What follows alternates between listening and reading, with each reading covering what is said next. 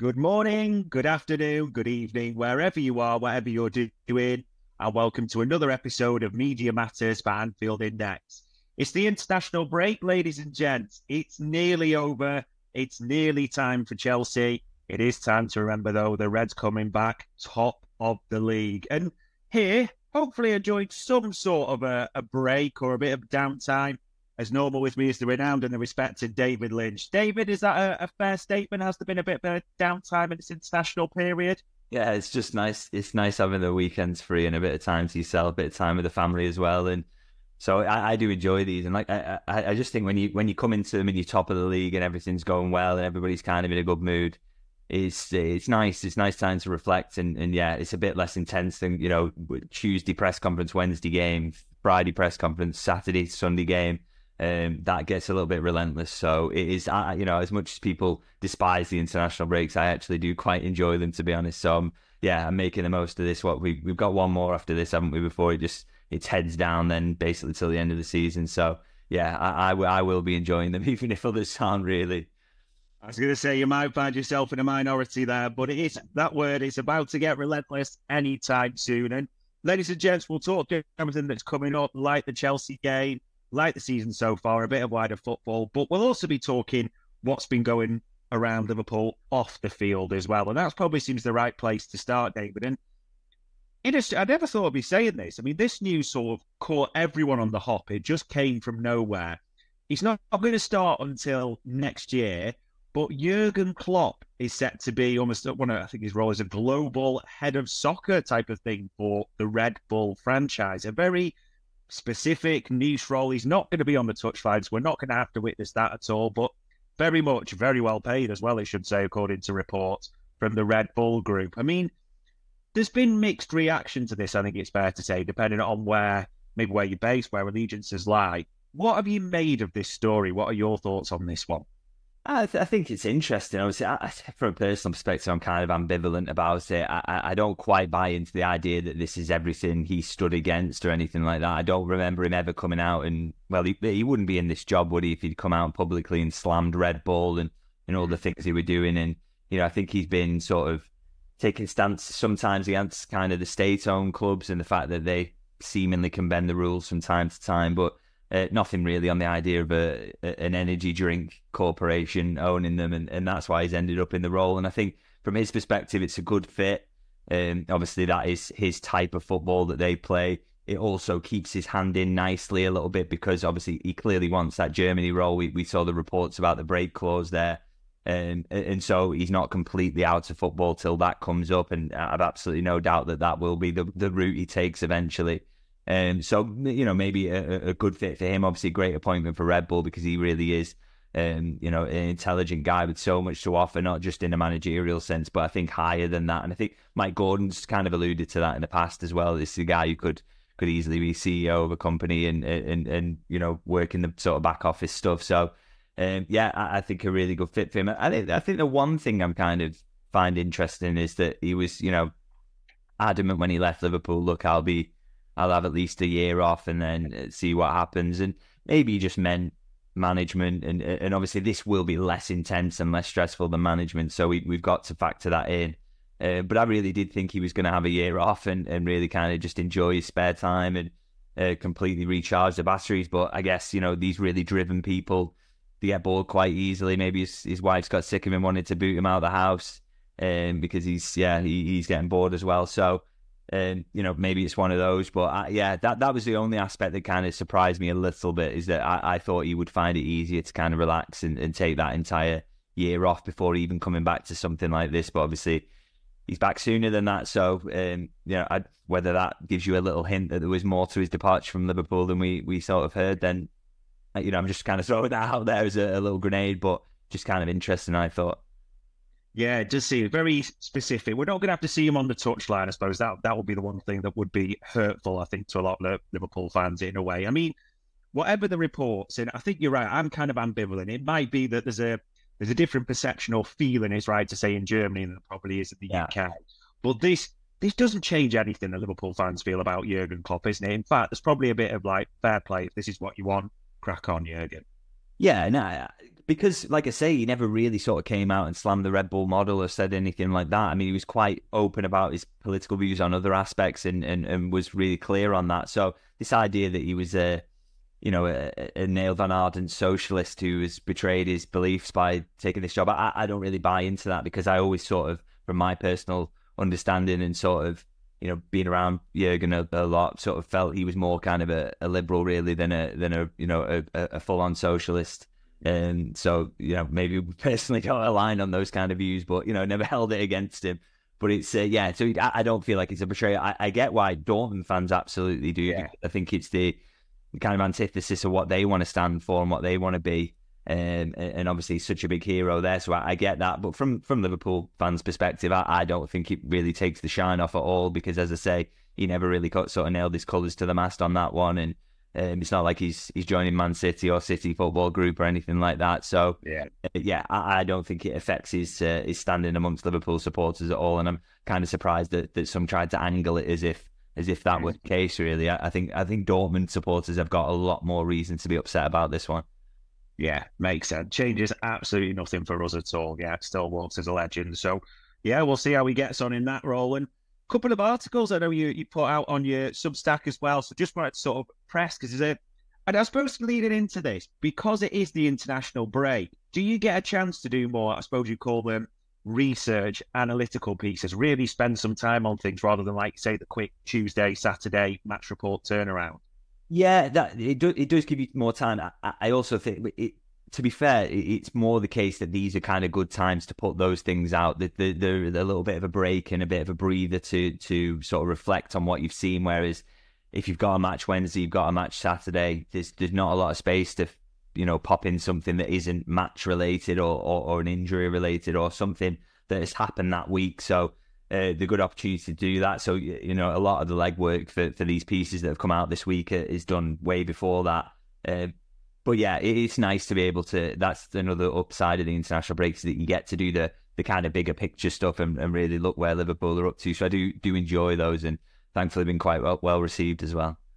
Yeah, definitely. And this is the one or a couple I want to ask you on the Ryan Gravenberch one first of all, because naturally been the I suppose you call him the breakout star, maybe the unexpected star a little bit of the season so far. So I know that was an in-depth piece, and that had almost his old coaches, former players, well, I suppose was that enjoyable to almost do that research, do a bit of Ryan Gravenberch's history, how he's developed through time recently.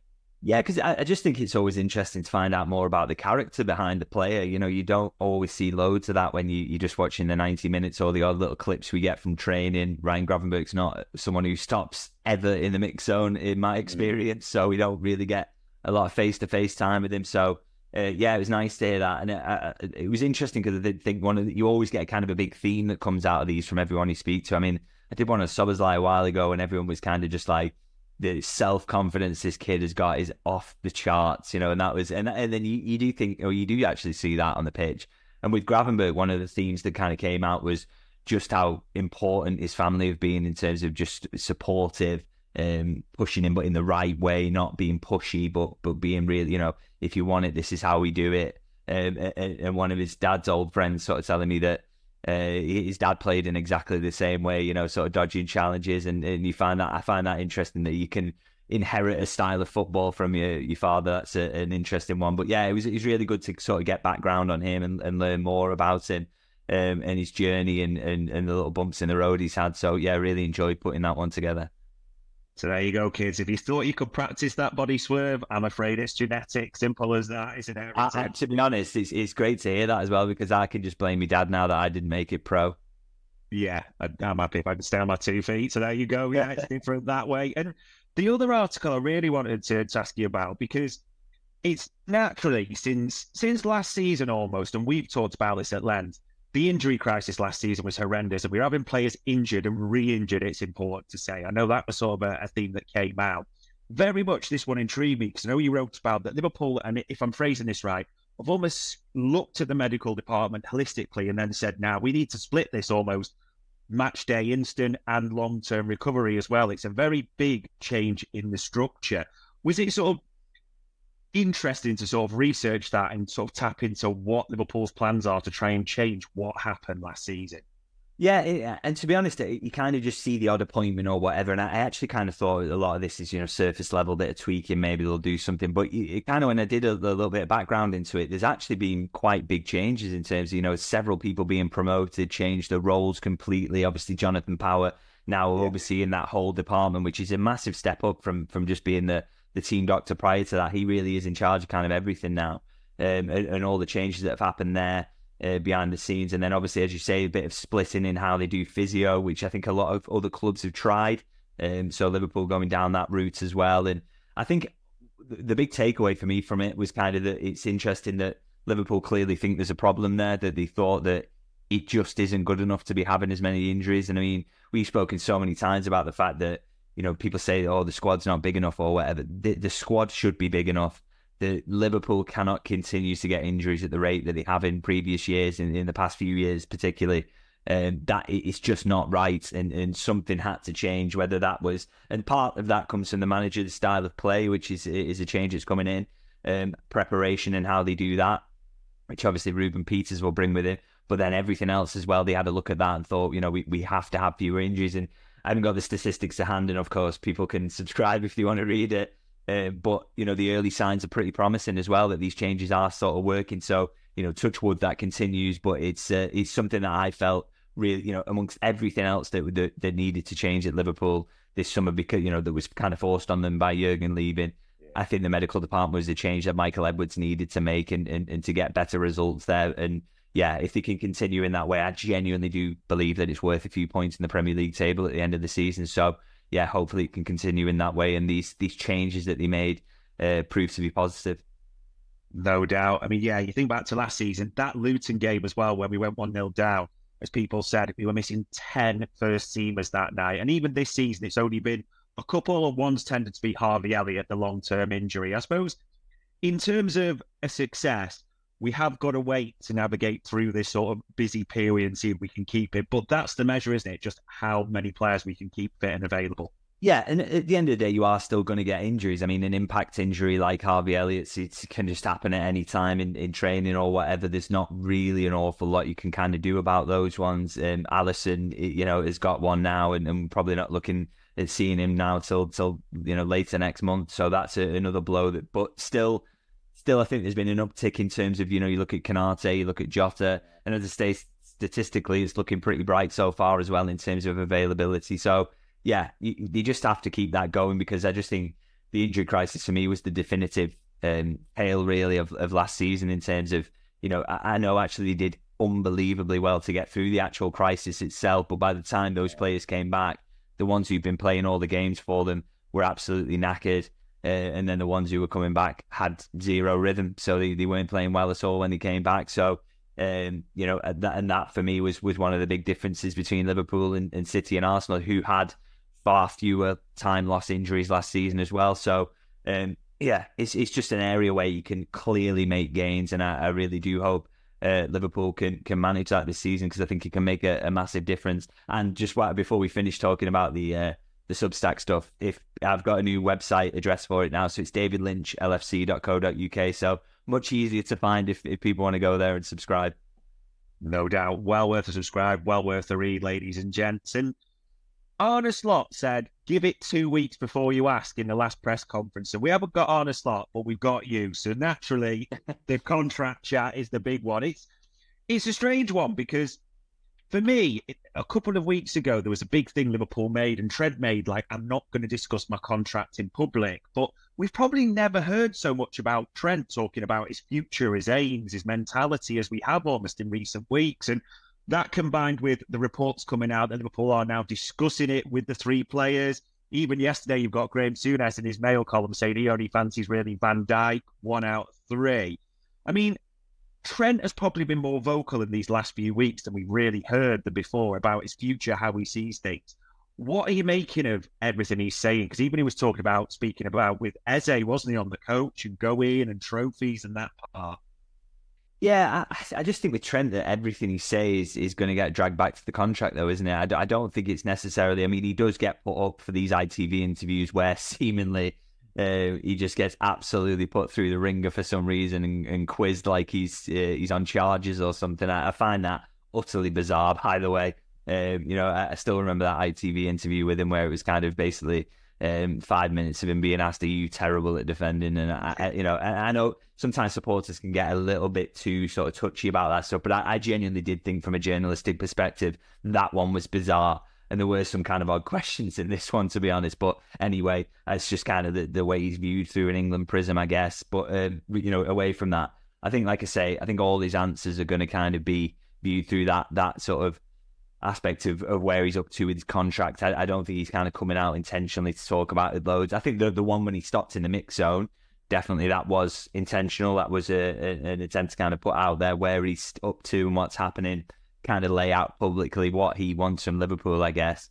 Um, but you know, this, this there shouldn't be this panic every time he speaks or does an interview that's um, contractual for, for television or whatever. It's uh, you know we can't always pull it back to the contract. He's not going out of his way to speak to ITV or whatever. So uh, I wouldn't be you know too concerned about that one. And I, I know people are, and I just think with Trent, the situation is always the the same as it was. I think people can guess and, and think what they think about what's happening or where it's up to, but ultimately Liverpool are desperate to keep him. I don't think there's been any sign from Trent's side that he definitely wants to go.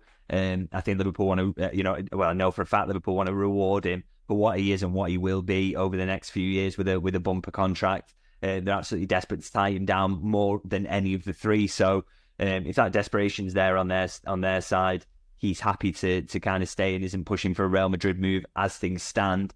Uh, then you know you've got to think that it's going to get resolved, and, and the hope will that will be that that will happen before January. So um, I just, you know, it's just not worth kind of worrying about at the end of the day. It's going to go the way it goes. And I, I, still think there's, you know, like I say, real keenness on Liverpool's side to, to get this sorted out. So, you know, my, I still, you know, work in the expectation that it will get done.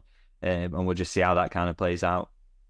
It will be interesting to see. I mean, naturally people are starting to sort of look at things and we, we do tick down. It's still a way to January, don't get me wrong, but people looking at it.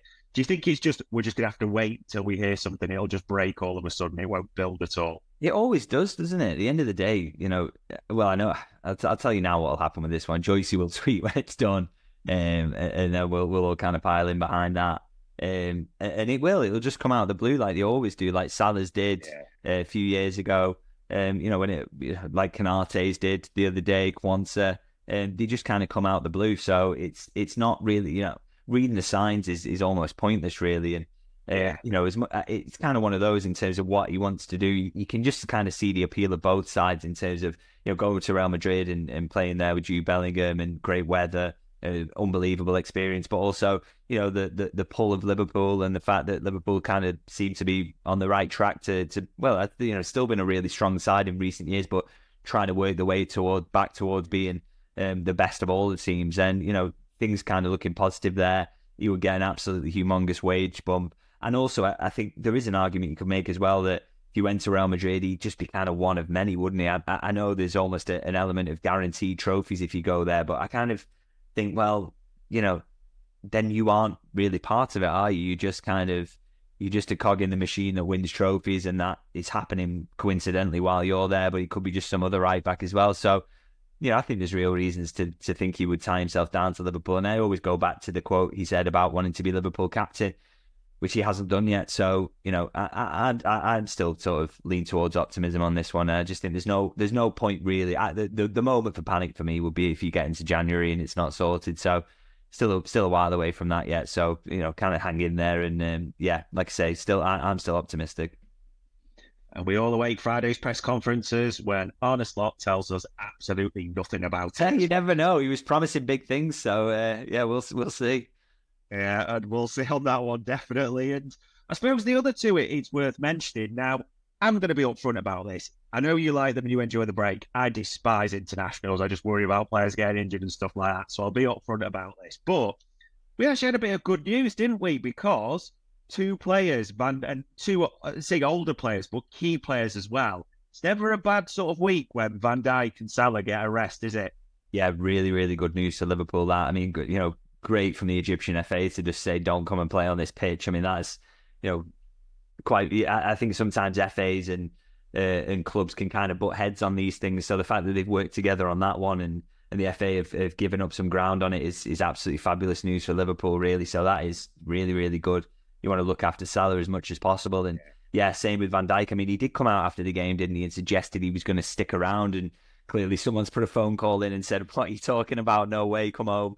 Um, so again, great, great that he's doing that, getting a little bit of rest in, and she'll be fully fit and and, and firing for Chelsea. So yeah, really, really good news to Liverpool. And uh, you know they, they do, and I know this was a feature when Michael Edwards was there last time. Is really trying to build good relations with with international FAs. Um, uh, that was really was a feature that I knew about back then. Um, so clearly, kind of they're, they're working towards that again and, uh, and making sure that they work together, and it's a it's a good relationship. So I think you know you can only get situations like this unfolding if you do have a good relationship, and so yeah, lucky for Liverpool they do, and, and both players are coming back.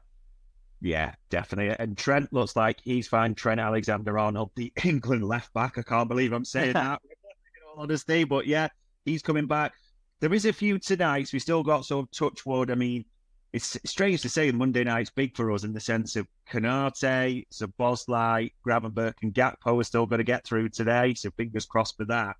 Probably the, the biggest worry, if you look at it on the horizon, being honest, David, is Mac Allister. I mean, he didn't play against Venezuela for Argentina. The suggestion that he is now back, and obviously on all the Argentina social media clips, he's back training. They only drew against Venezuela, so you just get the worry he's going to get thrown straight back into this. And they are the latest to players in Wednesday, 1.30 in the morning, which isn't a big gap. And oh yeah, there's just 15,000 miles to travel to travel back. This is the one where we are like just fingers crossed on this, aren't we? Yeah, I mean it's good at least that he's sort of missed a bit of training. He's he's um you know he's not been playing, so you know at least you know you think if he, he could you know, if the deal was there, he, goes away, he has a bit of rest, he plays one game. You kind of take that. He's only probably had a couple of training sessions bouncing in, so it's it's not too bad. Um, yeah, and, I mean, annoying about the South Americans, they've got to go that far, but what can you kind of do about it? Um, but yeah, that you, you, just hope he comes through, and he seems to get in every Liverpool game he plays. He seems to get hit with a bad tackle, so you know yeah. I'm sure it's the same for Argentina as well. Although I don't frequently watch them, and so yeah, you just hope he avoids anything like that and he comes through okay. And, and unfortunately, of course, obviously with it being Wednesday, uh, so so kind of late uh, in the mm day that you know he still got till Sunday. So I, would still expect. I'm I'm right in saying that, yeah. Chelsea on yeah, Sunday. Sunday yeah. yeah, I totally switch off at this point in uh, when the international breaks come around. But yeah, it is Sunday, and so that's a, a, little bit of extra rest for him as well. So again, you would expect that he will be fully ready. It's not like he's coming back to do the Saturday twelve thirty where um, mm. It looked like he'd had his boots on the wrong feet that time when he did that once. So um, yeah, he, he, he, should, you know, fingers crossed he comes through the game okay, and then if he does that, then uh, he should be back and yeah, ready for the Chelsea game, which is the the big one from our perspective.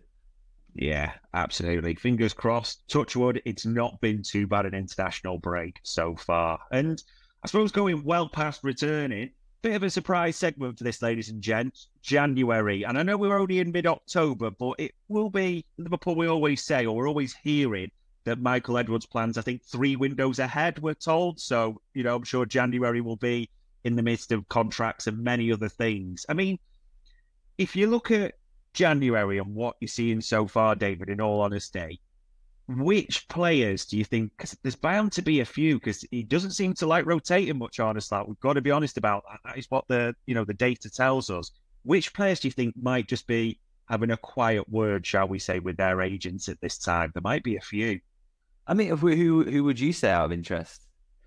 If Tyler Morton is not oh, having a word agent, he's insane. But yeah, yeah, no, fair enough. Absolutely on Tyler. I mean, I, I would expect him to get a move in January. I mean, he's quite clear he's got no kind of future in the in the first team here. He's a, a really good player, by the way, and I think there'll be a lot of interest in him. Um, so I, yeah, that, absolutely. I think in, in January I, I would expect him to go. Um, it's kind of a missed opportunity for him over the summer, not not getting gone then. But um, yeah, I, I think it, you know Liverpool will be open to a sale. Absolutely, the player will be open to going. All the ingredients are there, plus the interest from elsewhere, which there absolutely yeah. will be as well. So uh, yeah, would would expect that to get done. And I think the the other one is kind of event Endo, is it? Are, we kind of thinking? Yeah, and uh, uh, again, I, I, don't know on that one really. I, you know, it was always my understanding over the summer that yes, Liverpool would have been open to selling him, but the the player wanted to stay. He wanted to fight. He wanted to try and keep his place or, or try and. Um, you know, at least do this season and see where he got up to. And I, I see those quotes from him, and, and I don't sense that there's been any change in the way he sees things. Obviously, been a really quiet start to the season for him. Um, you know, hasn't played very much, but he obviously thinks that there are going to be games, there are going to be injuries, which he's probably right. Um, you know, even if it, Liverpool's injury record improves, I'm sure they will get one in, in midfield at some point. Um, so, you know, th- there's opportunities for him. And of course, Liverpool's still in the League Cup as well. So there's guaranteed game for him there, I, I imagine, because um, I, would like to see them keep rotating there, to be honest. So, um, yeah, I, for me, I, I wonder whether he's just going to want to stick around till the end of the season at least and, and see where he's up to there because, you know, if he's publicly saying that, and it was always my understanding over the summer as well that he wanted to stay, then I, I just sense he's going to, we'll be seeing him un, uh, until May at least, and then that will be the opportunity for him to kind of assess and, and think, okay, maybe now's the, the time to move on. So, yeah, he doesn't seem to be perturbed by the, the lack of, of game time so far. Yeah, we've never we've never been a club that bombs players out, for want of a better expression. So we'll be interested to see what develops. The only other one I, I just wondered, uh, just because of a sheer lack of minutes, and sometimes you've got to be honest, not even in the match day squad, but more recently, Joe Gomez. Do you think he could be looking in January? Yeah, I think I think the big one there for Liverpool is basically if you know what what's the interest like and what is the sort of fee that's being offered up. I mean, you know, I think there's every chance that you could go this window or the next, well, the coming window or the next one uh, well, certainly. I, I, in fact, I'd be kind of surprised if he's here after next summer. Um, but uh, it's it's all about you know is the right club out there, the one that's willing to pay enough, the one that he wants to move to. Um, there's just a lot of moving parts there that you can't guarantee. But I don't I don't think if a, a, decent offer came in, there's no way Liverpool would shut that down. He just hasn't seen the pitch enough um, to justify saying, "Oh, well, we need you around." And it's not like uh, Jurgen was kind of forced to do that a few times with players on the basis that they kept getting injuries and, and there were problems there. Uh, whereas Liverpool so far are looking pretty healthy. So um, if that continues, then yeah, there'd be no reason for Liverpool to stand in the way. But the the the, the massive factor there is is there a club like Newcastle that's willing to come in and pay X amount? Yeah, and we just we just don't know if that's going to be likely because you know January is typically less busy. Clubs don't do as much business there. Um, so it, it's just whether that interest is there and, and firmed up really. But yeah, I, I absolutely don't think that, that Liverpool would stand in his way in his way if the right offer came in. Yeah, he'll be probably the third one to watch. And I suppose on the other side, incoming wise, we're often told Liverpool struggle to find players of the quality. So you think they might want to renew the three that are good enough to stay there and be stars at the meantime. But January, do you think we would will be looking or targeting any particular positions. Naturally, everyone's desperate for you to say the number six now, aren't they? Yeah, I just think it's the obvious place where Liverpool could use strengthening. Uh, it's something I kind of plan on writing about this week. Actually, is that ultimately, you know, I, I think the manager's shown who he's got faith in in that area and who he's not. Yeah. Obviously, the the short of Harvey Elliott, who I think would have played a lot of minutes as well. But I think in that sort of central midfield too, it's you know, there's three of them at the moment. Is that enough to get you through? Do you need another one who can can help come in and, and rotate and um, you know take a bit of the the workload away from some of these players? What happens if you get Gravenberch or Mac Allister injured? It's it's looking a bit sticky at that point. So. Uh, I, I, really think they could do with with strengthening there. At the end of the day, Liverpool showed in the summer they thought that too. Um, so if that's why, why would that have changed between now and January? I think they, they, they knew that Gravenberch could play a lot of minutes. I don't think he's completely moved the dial so that they're like, oh, well, midfield sorted now. Uh, they, they still probably feel that they need someone else in there. So, um, yeah, I, I, wouldn't I wouldn't rule that out at all. Um, it's just, yeah, always the, the, the, the, factor of is the right player available? Is that Zubimendi? Is that someone else?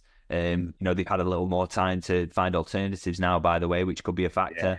Yeah. Uh, but again, it's all about the alternatives, of which there will be a very, very narrow or, or a small pool are they available in the January window? And you know, sometimes players are not. You can say about putting money in front, but clubs will say, no, we don't want to lose until the end of the season. Do this one in the summer. So um, that that's the only thing that would cast doubt on it. But in terms of what Liverpool want, I'd be surprised if they moved away from wanting a central midfielder. I suppose the the part of that, and people will wonder, and because obviously it started so well, we are top of the league. There's so much to like about the underlying numbers as well do you feel they do need one more in there if this season's going to be successful? As in, they, they have numbers, but that's not the same thing as Arne Slot liking players, is it, at the same time? I think they could get away with it. I think, you know, if, Endo's going to pick up all the League Cup minutes and, and you can keep Harvey Elliott fit to, to rotate with Szoboszlai and then you've got Curtis, Gravenberch and, and um, Mac Allister as those three. If you get lucky with injuries, which it would be the first time Liverpool would ever be able to say that in about 10 years, um, then, you know, absolutely you could get through. And I don't think the, the success of the season hinges on getting someone in, but it would probably if it was a good signing you got him, which by the way, there's always that risk that it's terrible and it doesn't yeah. work out. You know, we're, we're working on the basis that Liverpool are generally pretty good at this. But if it was the right signing, it absolutely could give you a boost and kick them on and um, just add, you know, just answer some of the questions that are maybe there about depth in a really important position. So yeah. Uh, I, I, would love to see it absolutely, but um, I, I, you know, I'm reluctant to maybe say that the the success of the season kind of hinges on it because I, I, still do actually think they could they could get away with it, but it's it's very reliant on not kind of getting injuries there to to any you know I think Gravenberch and Mac Allister if, if either of those got an injury, Liverpool would be in quite a bit of trouble. And, and that's not saying that Curtis can't play that role, but he does it he does it in a different way. And then all of a sudden you're down to two for two spots, and that is a lot of work to get through. So um, yeah, I I just think it would be a lot easier to to get another one in. And uh, but it's it's all about availability. Yeah, even just another a good body that could rotate would be so valuable. We'll have to see what comes in. I mean, speaking of transfers, we're playing the team on Sunday that loves a transfer in their droves as well, don't they? I mean, it's been such an interesting team to watch and probably still will be throughout the course of this season. And, you know, they'll get resounding, quite rightly, booed when they visit Anfield on Sunday. But what have you made of Chelsea and Maresca, especially the way they've gone about everything so far? Yeah, they, they seem to be getting there a little bit, don't they? Which is um, I, I kind of didn't expect. Uh, you know, the, the chaotic transfer business that they've done and the way they've been running the club so far is uh, shambolic, and I, I do think as as well there's a real chance of some sanctions coming at them further down the line. There's just no way they can sort of right that. I don't think financially. So um, I, I do think PSR wise something's coming for them, but uh, in terms of the team, it sort of seems like he's he's build, building an actual team, and and uh, you know I've said before, I think they've got the probably the best player in the Premier League at the moment in Cole Palmer. He's he's absolutely flying. He's a, a phenomenal footballer. I quite enjoy watching him. Actually, it's a shame shame he plays for Chelsea to be honest, but um, but yeah, they they do look a bit more of a team. I think there's still flaws there that makes them a kind of top four challenger rather than anywhere near the title. I wouldn't expect that at all. I think there's there are some flaws there, but the, you know, a lot more dangerous than you would have said coming into this maybe last season. And um, they, they do look like can do they can hurt you a bit more. They're a bit more stable and a bit more solid. So um, yeah, it, it's an interesting challenge for Liverpool and, and, and one that I think probably got to take a bit more seriously than maybe have from, from Chelsea in the last couple of years. It's uh, it's going to be quite tricky, I think. Yeah, Anfield will definitely be up for it on Sunday, and it's interesting, can you say, because the they've done certain stuff well. I mean, they, have scored a raft of goals in certain games as well. You look at them and sometimes you think, Christ, that is kamikaze style at times, the way they play out for the back. Do you think that is something amongst other things we might target or look at come Sunday? Yeah, but I think anyone who tries to build up in the way that Chelsea do, you know, slotted likes pressing, he likes winning the ball high up the pitch. So it's absolutely going to be kind of one of the the focuses really for Liverpool this is to try and cut that off. And I think one thing that, that could possibly hurt Chelsea. Is they are defensively a little bit questionable, and Liverpool have got goal scorers. So, um, you know, it, it, could be one of those where it's a big game, but if Liverpool get a couple in quick succession, they could absolutely batter Chelsea, you know, as good as they are, or the, the improvement that we've seen from them. So, hmm. um, I still think it's one that Liverpool are massive favourites for. They look a lot more of a solid, insane team in comparison to Chelsea. But it's uh, like I say, you know, if Liverpool have an off day, Chelsea have got players who can really hurt them. So um, you know, it's not one that can take lightly at all. Yeah, will be interesting. And Cucurella out as well, Fofana out. So yeah, maybe a shouldn't wish ill, but a small wee knock for Cole Palmer wouldn't hurt at all. Yeah. Sunday, and we are ten games in, so probably a bit of a good chance to do with the break being on the season so far and what you've seen as the best, what you've seen as sort of maybe things to think about as well going forward. So, in terms of the 10 games that you've seen so far, what's actually been the best performance for you, would you say, that you've witnessed so far?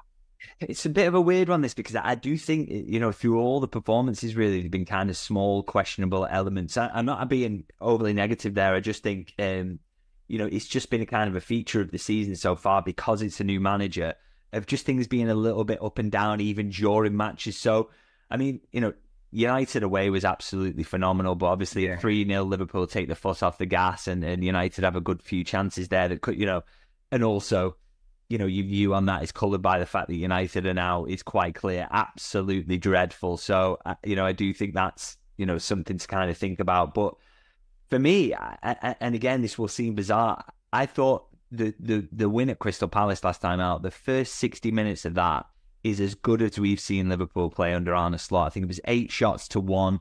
Um, they were just so dominant, using the ball in the right way, creating chances. Uh, looked really protected. Looked like they, they were they were difficult to score against. Um, there was just a- just an awful lot to kind of like about it, really. And I just think that that for me, weirdly, was was kind of one of the most satisfying, uh, you know, performances that they put in so far. So I I kind of really like that. And I know I know that's not the entire ninety minutes, but it, I, that that for me showed me what you want this team to be eventually under slot and uh, and um yeah i just I, I just thought that that that that's as convincing as liverpool have been so far and the hope is that it's coming soon that we will see that over 90 minutes hopefully that comes at arsenal or against chelsea or whatever Yeah. um, but yeah that that for me was the most encouraging and, and, and the best the team has played so far i would have to say Yeah, and maybe in a, in a strange way, just the nature and the style, we've not needed to go sort of pedal to the metal yet for 90 minutes, which actually, you a bit on the legs, that might be beneficial long term as well. So we'll see. Best goal so far. There's a few contenders for this one. Yeah, weirdly one. I, I, I hmm, um, I like the Diaz header at Old Trafford. I thought that was a, a really good finish with Dominik Szoboszlai right in front of me. I like the way the move was worked and everything. How they got the overload there, that was great. But what one of the ones I really enjoyed was it was it Ipswich the the, the the kind of the ball in behind to Salah plays him in, and then the outside of the the boot the outside of the boot pass and Jota just finish it off again. Just a really good example of kind of the slick football you wanted to see under Arne Slot. The fact they did that on the opening day of the season, having looked quite slick in pre-season already. I, I just really, really kind of enjoyed that. Um, and and again, I just felt like it was kind of a sign of things to come. There obviously been some other spectacular goals so far this season, but uh, but uh, for me, that was that was one that I really, really enjoyed because I think it showed this is the you know serious football team and this is what they're kind of looking to do this season. Yeah, so we're gonna we've seen a few what we call slot team goals as well, haven't we? There's been there's been the odd Nunez blockbuster and things like that, but there has been some impressive team strikes as well this season, no doubt. This one will be tough. Player of the season so far, if it finished today. Yeah, I think there's a few contenders here, but I, I think I probably got to go for Gravenberch. Uh, uh, uh, just you know, and again, a lot of this is based on the fact he's been such a nice surprise, but but equally, it's, actually, it's probably not because ultimately he has just been that good in every game. He, he really has. He's not just been a standout on the basis of that you didn't see it coming. He's been a standout, full stop. I mean, just doing everything that you want from someone who's in that holding to, breaking up the play brilliantly, nicking the ball, um, then you know dribbling forward. He hasn't lost any of that. The quality he shows in possession, firing ball through the lines. Um, he's just been really, really important for Liverpool, giving them kind of that basis to work from, that foundation, that protection in front of the back four, but then also getting them playing. So um, yeah, for me, he's been number one. But there's been there's been so many that have been so good. I mean, you know, honourable mentions to to Alexander Arnold, um, to to Mac Allister, to Van Dijk, of course, Konate alongside has been phenomenal. Um, you know, there's been Luis Diaz has been playing out of the skin. So yeah, there's been a, an awful, awful lot of um, you know really, really good individual performances so far this season, and that speaks to the fact that the team as a whole is is playing really, really well. Yeah, no doubts. There's so many we could call out, and I suppose it's a it's a two part. So I'll give you this first part. Where do you think? And there's probably quite a few candidates for this as well. Where do you think, based on what you've seen, we have the best cover right now? As in, if your first player isn't in, the second one there's the smallest, you know, worry, shall we say? I think I think at the moment it's probably that left wing, isn't it, with with Diaz and, and Gakpo, just the way that both of them have played this season, both been outstanding, and you just had, you know, Luis Diaz comes back from the international break and he's got a slight worry, you, you just aren't concerned whatsoever that Gakpo is starting against Chelsea. It's basically like for like in terms of the quality level of the performances so far. And um, so yeah, I, I think that is the one at the moment. But I mean, again, you know, you shouldn't forget that across the pitch, there's there's quite a few there. I'm thinking, you know, Bradley coming in for Trent, you will be. He's not the same player, but you'd be absolutely happy with that. Um, you know, you, you're thinking Chiesa, who we've not seen much of yet, but coming in for Salah, that's really exciting. Uh, I think Tsimikas has done a really good job. Quansah is still sitting on the bench. So, you know, this is a really strong Liverpool squad. And again, you know, because they've had horrendous injuries in the past, we really shouldn't forget that fact that the the backups in, in a lot of positions are really good. You know, Harvey Elliott in for, for Szoboszlai again. Looking forward to seeing that after the break. So, uh, yeah, it's a it's a really really strong squad. There they are, no doubts about it. I suppose the flip side to that, where would you be concerned? I suppose maybe if it's injury or out for a while, there is the biggest drop off in this squad like I said, they, they could probably do with another in central midfield, but I, but I think that it's probably unfair to say a drop off because the next cab off the rank in that central two there is Curtis Jones, who I think is a fabulous player. I think he's got a big role to play this season, so uh, probably wouldn't pick that for for me at the moment. Maybe it's possibly that that centre forward role, just with when Nunez isn't playing with confidence and he, he comes in and you know.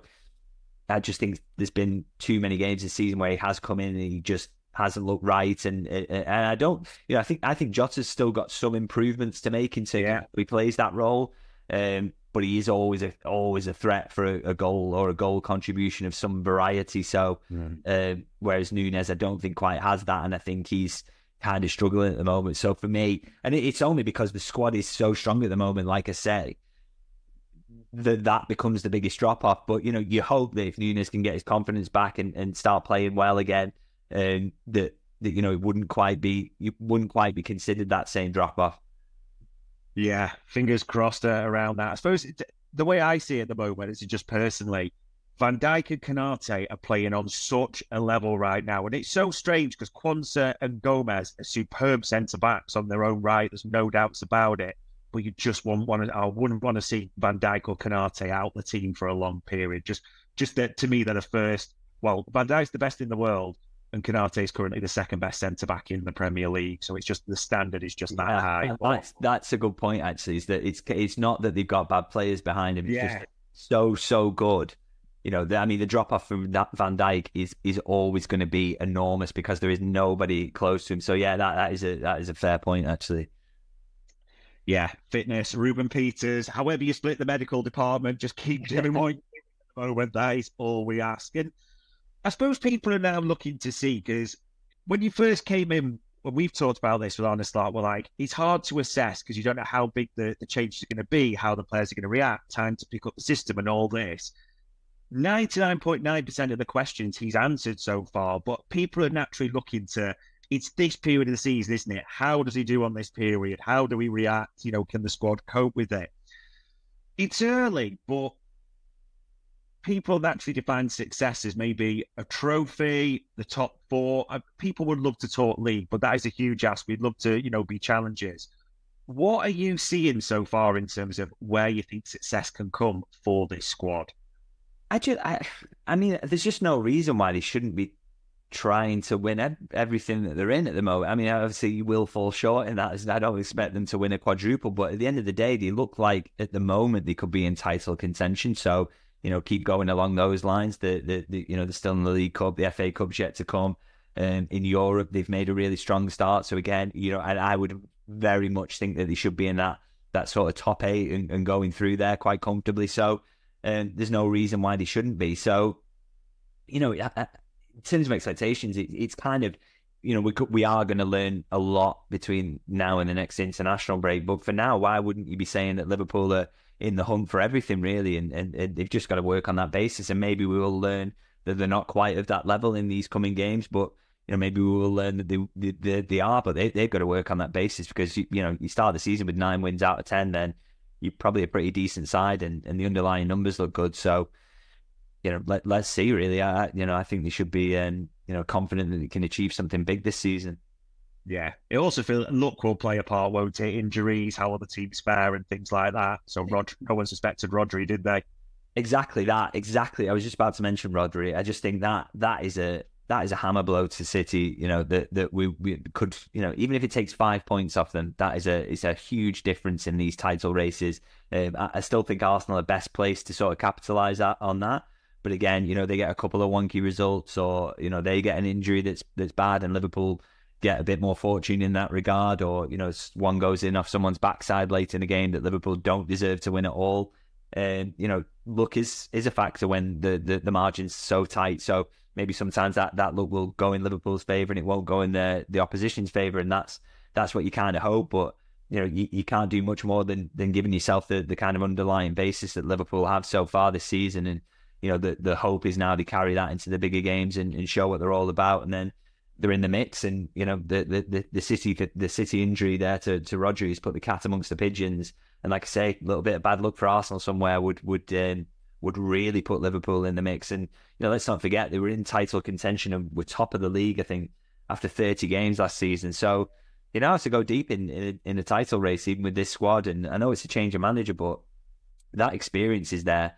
Um, so you know, hopefully they, they, can they can be there after 30 games, and this time not have the injuries to contend with, and, and all that, and the, the confidence is up, and the belief is there. Then, and then maybe they can they can go on and win it with a little bit of fortune. So yeah, they, they should be thinking that, and we'll we'll we'll find out a lot more in the coming games. But I'm looking forward to it. Yeah, absolutely. You, all you can ask is to be there and see what happens, can't you? So loads of positives in that. And as we do, we always finish with the wider football bit. And you mentioned Manchester City. I mean, you know this has dominated football journalism over the last week or so. City in the the APT case, not the hundred or fifteen charges, but the associated party transactions. I mean, You've seen all the reports. Manchester City are claiming a glorious win. The Premier League are claiming a glorious win. Legal experts telling us it's maybe somewhere in between it. It's very complex and nuanced, this whole thing. I mean, what are you making of everything that's going on right now? Uh, uh, well, I will always repeat that this stuff is absolutely depressing that we have to go through this and, and that this is happening to football. But, you know, it, it is what it is. I think once you let um, you know states into football, then you, you you're going to be in a situation like this where you know particularly if they don't really massively respect the rules, which I think they've shown. Um, you know, not necessarily by even accusing them of cheating, but I think they've shown by trying to consistently undermine them through legal cases. Now, uh, I thought all the stuff about City it being a big win for City was was quickly sort of it was underlined how that was total nonsense, really. And you know, I don't know. I was going to say I don't mind. I don't really want to go into criticizing fellow journalists, but I, I don't actually mind it to be honest. I think we should all be open and have our own opinions. I thought some of the writing and reporting around that, yeah, genuinely pathetic. I, I mean, honestly, you know, we've all from time to time. Don't get me wrong. I'm not saying that. You know, um, I'm a legendary um, Pulitzer Prize winner or anything like that. We've all taken the odd favorable brief from time to time, but only about things that are meaningless. E.g., you know oh, this transfer is going to be good, or you know, this is why yeah. X or Y wasn't signed, and this was a good reason for it. Blah blah blah. Um, but but doing so around something that could genuinely tear apart the fabric of football, our much loved sport in England, it just it. What are you doing? Have some self respect. And, and some respect for the game itself and what this is doing. And the fact is that it was so easy to just look at the actual report itself and see that this wasn't a win for Manchester City in any description you know, they, they had minor successes on a couple of very, very small points within APT. Yeah. And in no way has it voided the existence of them. In, if anything, well, actually, what it did was strengthen the case of APT because it said in the judgment that the uh, financial rules could not exist without this being there, which is absolutely right. So it's no way undermined them, and it's just basically small technicalities around um, you know, allowing clubs access to a database that shows the financial information so that they can benchmark it before they come to the Premier League, which I think is a very, very fair point. I also think including owner loans in there at fair market value again is a very, very fair point. The fact is, City weren't doing this so that those fair points could be ironed out. They're doing it to undermine the whole thing, to strengthen their yeah. case in the 1 1 5 situation. So uh, just utterly depressing, really. And, and, like I say, the reporting around it, I like, I'd like to think some of those journalists would feel shame, to be honest. But they, I'm sure they they absolutely won't. And um, you know, because they'll they'll keep getting the briefs and they'll keep being able to write up their take, their definitive take on the this judgment uh, five minutes after it comes out, and it's hundred odd yeah. pages long. And um, you know, I suppose that's the benefit for them is if they're so close into City that they can get that their their take on it out much quicker, even though and, and try and set the tone but yeah, utterly pathetic, really. And I, and I just think, yeah, I, I don't didn't think it was a my, my, my overall feeling was that it wasn't a win for City at all, really, apart from on some minor points that won't actually, you know, some of which won't actually help them at all. Uh, yeah.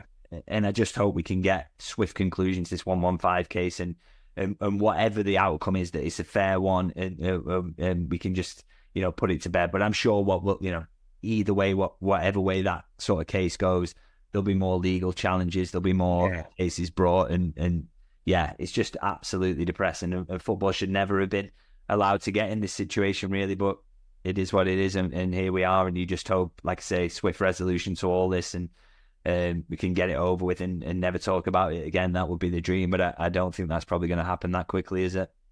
Is, is that the big worry, to be honest? If you look at just the first part, how much you say the media briefings, even the Premier League have talked about a few things. It's not quick just because of the legal fees being invoked, and the other clubs are going to be happy. The only people that are going to be happy on this is the lawyers and the amount they're charging, isn't it? This is just going to rumble on, unfortunately. Well, I think you've seen that even if City lose this case or whatever and, and lose it convincingly, that you know, ultimately they'll probably do, be declaring a victory or they'll be undermining it in some way or saying it's not right or launching a mm. legal challenge of some sort. I know they can't go to CAS, can they? But I'm sure they will pull every lever that's available to them to sort of slow things down and, and block and, and make things difficult. Then there'll be legal challenges from other clubs who've been affected by it.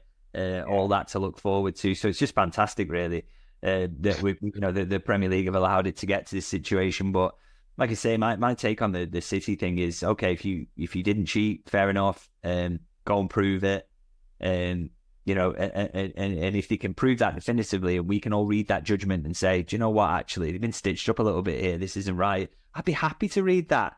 I'd be happy to know that the last few years of Premier League actually were done legitimately and that it wasn't a nonsense yeah. and that you know and then you'd be asking questions then about the Premier League and the people who run it and why they felt that this was you know but the fact is, we we have all also seen those emails. So unless I see definitive proof that they are falsified or something like that, then there will always be questions there. So, um, yeah. So, I, so I don't think we're going to get that proof. Unfortunately, I don't yeah. get that outcome. So, if, that's going to be the case, it would be nice if City just took their the, took their medicine and took the punishment. But I don't expect that will be the case either. So, yeah, it, it's going to be absolutely awful and negative, no matter which way this plays out. Unfortunately. Uh, and again, that that that falls on the powers that be in Premier yeah. League for for allowing it to get to this point, really.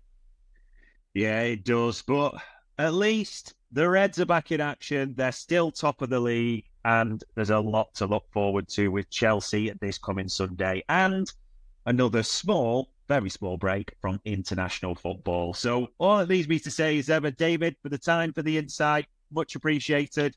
Thanks for having me. Ladies and gents, those are the Media Matters Anfield Index.